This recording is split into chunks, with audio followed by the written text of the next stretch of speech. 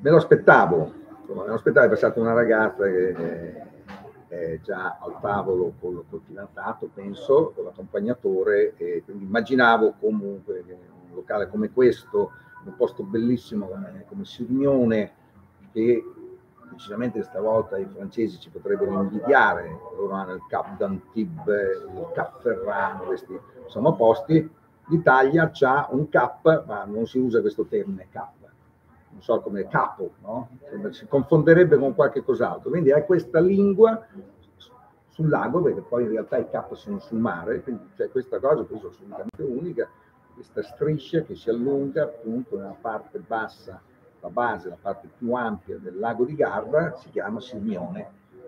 Quindi è un posto bellissimo che lo so che esiste appunto eh, in Italia e sta, devo dire, finalmente muovendo, anzi arrivo proprio dopo qualche rimando, eh, arrivo dopo qualche mese e anche l'uscita della Vida dell'Espresso che ha appena rimesso Sirmione come località, non c'era l'anno scorso, nell'edizione sempre a maggio, e ha voluto proprio segnalare i due locali del momento con location particolari, in realtà ce n'è un, un terzo storico stellato appunto Michelin e, e, adesso, come dire, almeno l'Espresso ha individuato questi due e sono qui con, con lo chef Roberto Stefani, che non è parente con Gwen Stefani, non gliel'ho chiesto, eh, ma no, no, non c'entra niente con la cantante.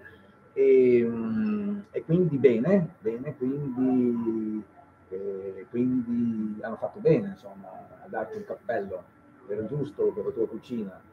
Eh? Hanno provato a darci fiducia ecco. e noi ci stiamo cercando di ripagarla, questa fiducia, stiamo cercando di ripagarla, proponiamo una cucina di mare, abbiamo qualche proposta di lago, ma fondamentalmente ci sviluppiamo con il 90% di, pesce di mare. E poi anche il salmone, quando si usa il salmone, è comunque di, di acqua dolce, già, già, no, beh, vicina i pesci, in realtà ci sono, ci, ci sono anche dei, dei, pesci anche molto popolari che si usano normalmente. Quindi già, già, il 10% sarebbe solo quello, sarebbe solo il salmone che penso no, non possa mancare nella, nella, cucina di mare. C'è una preparazione che mi piacerebbe ah. farvi assaggiare per ah. questo salmone che noi facciamo un po' come diceva della Francia, no? un po' la, dai nostri colleghi francesi, sì. ricordiamo insomma di, di, aver valorizzato ulteriormente un Cos'è un antipasto? Un secondo. Un secondo. Ah, quindi sarebbe il, il, salmone cucinato come pesce di mare. No? Si prende il salmone, arriva un salmone fresco, lo cucini, lo devi chiaramente bene, in ah. particolare lo abbelliamo eh? e, mm. e, poi cerchiamo di offrire questa esclusione di sapori mm. ai nostri clienti. No, l'idea non è male, anche è un piatto principale, è un, è un, po', so che più in Alto Adige c'è un po' questa sfida a cucinare fresco il salmone, perché poi il salmone è proprio il pesce conservato che rimane no? buonissimo, eh, senza bisogno chiaramente di andare tutti i giorni a cercare chiaramente il pesce giusto e fare, no, partecipare all'asta, no? perché succede certo. questo poi quando... Bene, bene, bene, quindi intanto piatto l'abbiamo già detto di quel 10%, invece il restante? Il restante sono piatti comunque che adesso stanno diventando un must, eh? come abbiamo il granchio reale. Al, al Tancredi. Il, il granchio reale o il merluzzo nero, il carbonaro dell'Alaska che noi usiamo, sono quei piatti eh, che comunque stanno eh, avendo dei riscontri molto positivi e questo sono quelli del Code, sempre, sempre lui, ecco, abbiamo detto Black Code viene marinato al miso e viene mm. accompagnato con un infuso eh, ai frutti rossi, in genere bergamotto. Eh, cerchiamo di usare eh, prodotti del territorio, quali limoni, capperi, olive, eh, il tartufo della Valtellesi o del Monte Baldo, la carne gardinese veneta, eh, con le poche proposte di carne che abbiamo cerchiamo di sfruttare e valorizzare ulteriormente il prodotto. Quindi questo è una cosa che dovremmo fare, fare tutti. Questo, è un, questo piatto qua è un, un antipasta. Questo è un antipasta, quindi, eh, quindi a questo punto una pasta. Una pasta, cosa potrebbe essere? Se andiamo tutta una pasta, sono un amante dei risotti, sono stato al compleanno con eh, Marchese d'Alberetta, e per me il riso è, diciamo, è il mio piatto forte, ecco, provo, provo a sbilanciarmi e, lo facciamo con eh, questo limone. Io stavo facendo il faro, il, poi il faro, presente il faro che, che, che gira, che vede, vede appunto il passaggio, perché vi dicevo prima l'introduzione, no, no poi invece questo eh, continuiamo, continuiamo. Eh beh, poi ci sono anche altre carni, giuste, no? non c'è solo la carne e il pesce che si mangiano, no, ecco, sono quelle, sono... quelle che non, sì, si possono toccare, ma non... Ecco, quindi altre sono cose, giuste altre cose, altre cose. che ci piacciono. Quindi, quindi, quindi questo risotto, eh. secondo me è molto interessante, che è fatto con uh, salvia, limone candito, uova di San Marino e polvere di sale dello spiego. Quindi mm. noi... Mm questo... Quindi diciamo gli ingredienti poi alla fine del, del lago ci sono, ci sono, sono, cioè, sono praticamente no? ecco, le uova, no? le uova di Sandrino. Esatto, esatto. Quindi, quindi come poi molte volte succede nei ristoranti fanno pesce si mette che so il foie gras, no? si, dà, no? si usa magari anche certe volte con lo strutto, comunque si usa il lardo di colonnata nella, nella cucina dei pesci, chiaramente non va bene per quelli che non mangiano carne, i vegetariani, eh, quindi rimane sempre degli onnivori. Ecco, diciamo, è bene saperlo, ecco, quindi è sempre meglio chiedere come le rane eh, piuttosto che le lumache, no? Ecco, sono lì a metà. Colgo, colgo la lumaca per dire la nostra mm-hmm. di mare, un altro, ah. un altro pasto eh molto molto, vi dico una cosa, molto interessante. Ma sono, allora, perché sono le lumachine, e questa l'ho, l'ho scoperta recentemente, ma sono anche le raguse, sono bellissime e che hanno poi questo mitico, penso si chiami sempre così, che, che sta appunto all'interno, che sono veramente molto piacevoli e tra l'altro nel caso delle raguse sono estetiche. Poi chiederò a Ciccio Sultano se sa che anche questi piccoli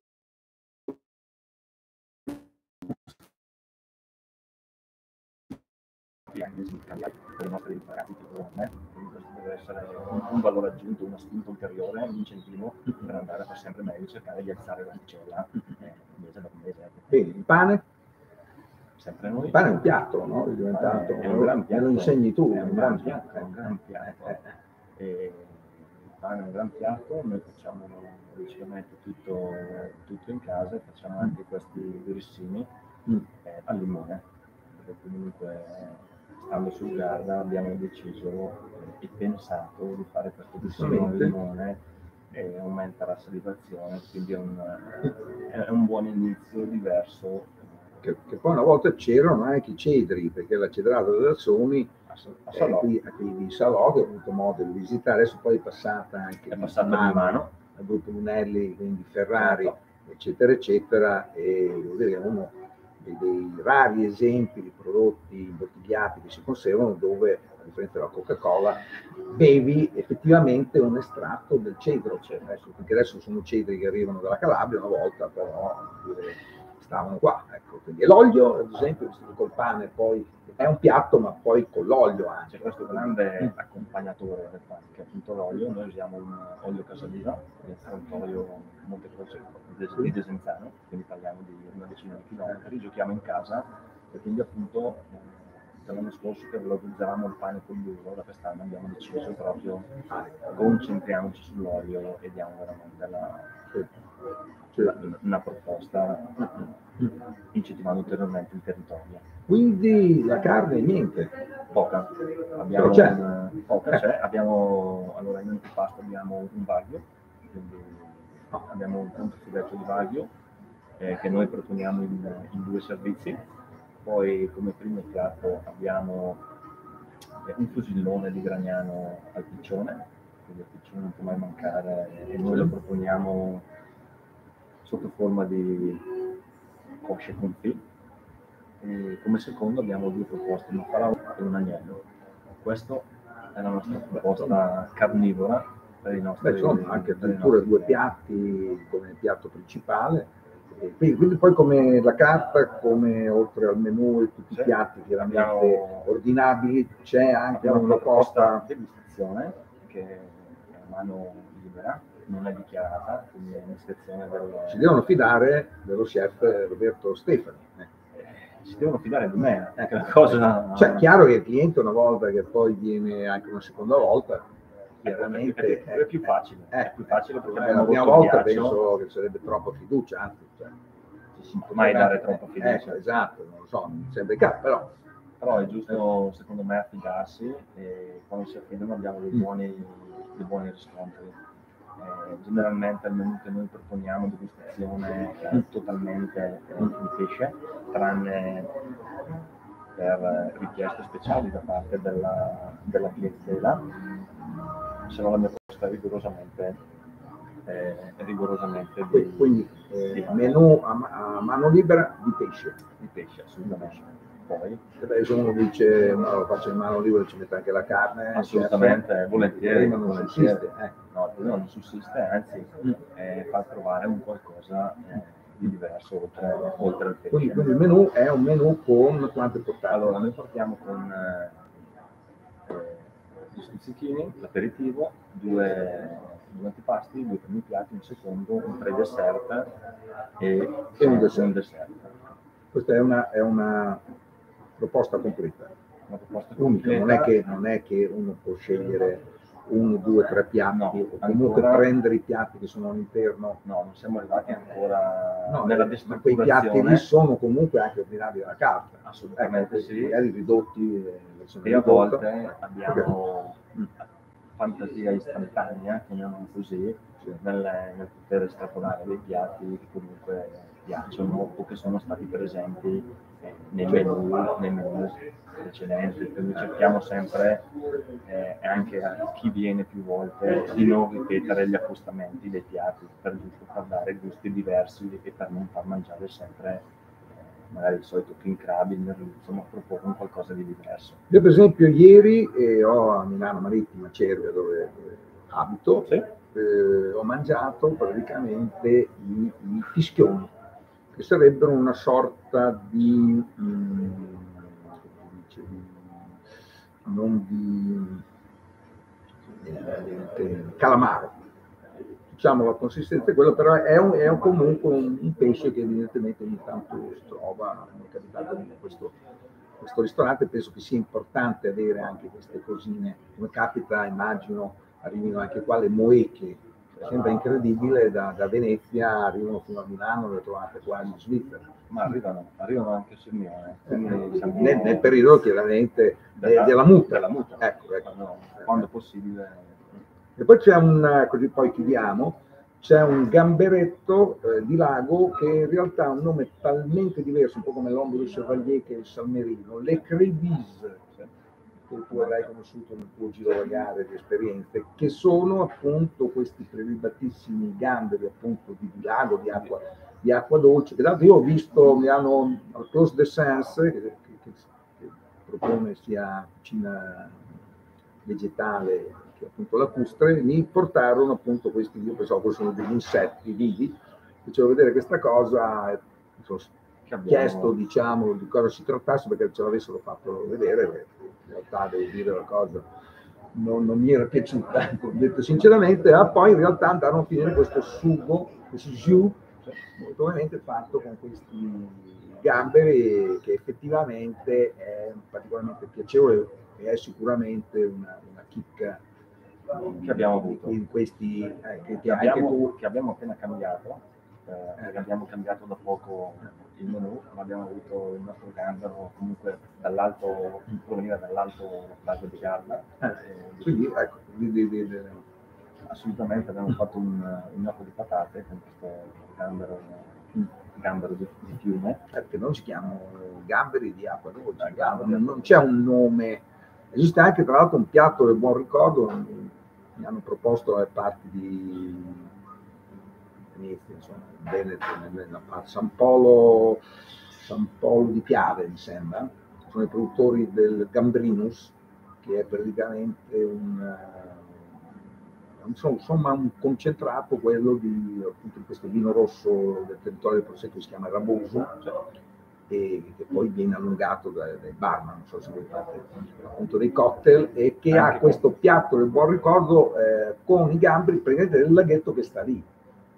Però devo dire, io non mi ero mai, so che ti portano per, eh, per mangiare, ti portano praticamente il, Bavaglio. il bavaglio, ecco, cioè il bavaglio tutto, tutto, eh, mi hanno pure fotografato queste cose, però ecco, non pensavo di aver fatto un, una cosa da gran gourmet, effettivamente è una cosa prelibata, con questo vi salutiamo, perché come chiedevano ad esempio a Bucoso, eh, chi cucina quando lei qui che saluta tutti e sta a fare l'intervista? Cioè... Andiamo a cucinare adesso. Ah, ecco, ecco, no, no, no, cucinano comunque anche dei cucinieri, insomma, ecco, quindi, ecco, quindi c'è l'executive chef, oltre appunto lo chef appunto principale, quindi vi salutiamo qui da un posto bellissimo, stupendo, che è Sirmione e dal ristorante Tancredi.